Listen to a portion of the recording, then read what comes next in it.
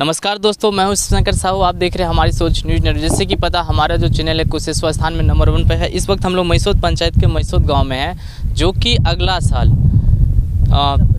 तीस अप्रैल 2023 को जो यज्ञ होने वाला है, वो यज्ञ नहीं, एक महायज्ञ होने वाला है।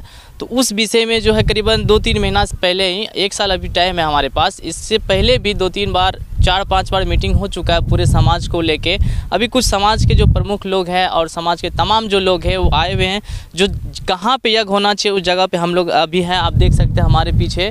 जो यहीं पे यज्ञ होने वाला है, जो मैसूद गाँव से पश्चिम तरफ़ जो जगह है, वहाँ पे यज्ञ होगा। उसके बाद जो तमाम बातें हैं जो यहाँ पे हम लोग के साथ आए हुए, उन लोगों से हम बात करेंगे। उसके बाद एक चीज़ और हम बताते चल रहे हैं कि जो इससे पहले जो हमारे गाँव में यज्ञ हुआ था, जो समाज के थ्रू हुआ तो था, पर वहाँ पे एक संस्थाएँ के नाम से शुरू किया गया था। जब वो यज्ञ नहीं संभला था, उसके बाद समाज जाके वहाँ पे हस्तक्षेप किया और जो जितना हो सके समाज की तरफ़ से मदद किया गया, चाहे शरीर से हो या धन से हो या मन से हो। जो तमा, इस, उसके बाद भी यज्ञ सफल जो होना चाहिए उतना ढंग से नहीं हो पाया। बहुत सारी अफवाहें उड़ रही थी।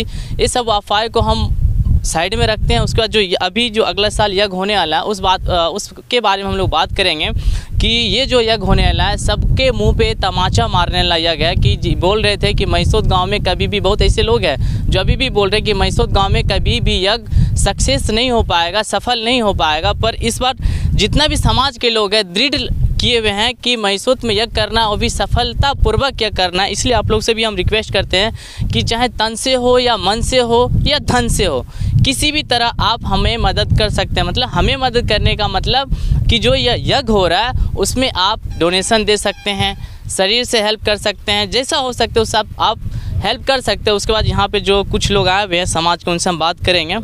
ये यज्ञ के बारे में आपका क्या क्या रहा है कि इससे पिछले बार कुछ ही महीना पहले यज्ञ हुआ था जो मैसद का नाम थोड़ा कुछ लोग गलत तरीके से ले रहे कि यज्ञ सक्सेस नहीं हो पाया। तो इस यज्ञ के बारे में क्या रहा है आप लोग का? देखिए मेरा नाम अनिल कुमार यादव है। मैं इस मैसूर गाँव का वासी हूँ। हम लोग का दो तीन दिवसीय बैठक इससे पहले हो चुका है। और इससे पहले जो यज्ञ हुआ था वो एक संस्था के माध्यम से किसी पर्सनल व्यक्ति के द्वारा किया गया था। जिसमें समाज से केवल सहयोग लिया था कि आप लोग सहयोग दीजिए इसमें, तन और मन का, धन का कोई ज़रूरी नहीं है। लेकिन संस्थाएँ इसमें कुछ कमी किया, बाद में लोग समाज के उसमें अपना हस्तक्षेप किया, तन और मन, धन तीनों का सहयोग किया, जिससे यज्ञ किसी तरह सफल हो गया। अब रही इस यज्ञ का कि अभी जो जिस पर चर्चा हम लोग कर रहे हैं, जिसका हम लोग भूमि चयन करने आए हैं, अपने गाँव से सटे रेलवे बाँध है पश्चिम मैसूद गाँव से पश्चिम सटे रेलवे बाँध है। वही रेलवे बाँध के सटे पश्चिम यह जो यज्ञ होगा, श्री श्री एक हज़ार आठ, श्री महाविष्णु यज्ञ, उसका यज्ञ का जो भूमि है वो चयनित करने हम लोग यहाँ आए हैं।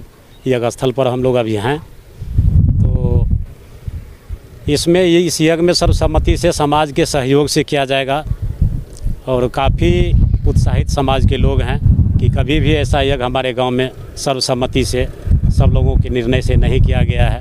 न पहले अभी हुआ है अभी तक। इसी सोच को लेकर के देखते हैं, युवक सब भी काफ़ी उत्साहित हैं, जो समाज में बड़े बुज़ुर्ग लोग हैं, वो सब भी अपना सहयोग देने के लिए काफ़ी उत्साहित हैं। उसी में हम लोग भी अपना ये सब एक आदमी एकत्रित हो करके एक जगह बैठ करके दो तीन दिवसीय बैठक किए हैं। उसमें सर्वसम्मति से अपना निर्णय हम लोग निकाले हैं कि इस बार यज्ञ को सफल, अगले बार के लिए तैयारी करना है। हम लोग को यज्ञ सफल करना है। हर हाल में बढ़िया से सफल करना है। नाम प्रतिष्ठा इस गाँव का रहे ऊँचा उठे लोगों में शांति सहानुभूति मिले। यही सब हम लोगों का सोच है देखिए। एक चीज़ और आप बताइएगा कि जो यज्ञ अभी होने वाला है अगले साल दो अप्रैल माह तीस तारीख 2023 को जो यज्ञ होगा उसके बारे में आपका क्या राय है? जो समाज के लोग हैं कहाँ तक वो लोग सहायता कर सकते हैं? बहुत अच्छा ढंग से सहायता करेंगे। अब बहुत खुशी हैं समाज के लोग। महिषौत ग्रामीण जो हैं इस यज्ञ के लिए बहुत खुशी हैं। जो वो वो जो यज्ञ किए, वो बहुत जल्दीबाजी में कर दिए। ये एक साल का समय है। ये बहुत अच्छा ढंग से होगा और सब कुछ ढंग से होगा। इसमें कोई दिक्कत नहीं होगा। मेरा समाज के कहने की ओर से, मेरा नाम जितेंद्र यादव, मेरा घर महिषौत पड़ता है। अभी हमारे साथ जो है, पूर्व सरपंच जी है, वो जुड़ेंगे। इनसे भी हम कुछ राय ले लेते हैं कि जो यज्ञ होने वाला है, इनका कहाँ तक सहायता रहेंगे? सरपंच जी पहले अपना नाम बताइएगा। मेरा नाम मोहन कुमार यादव है ग्राम मैसूर।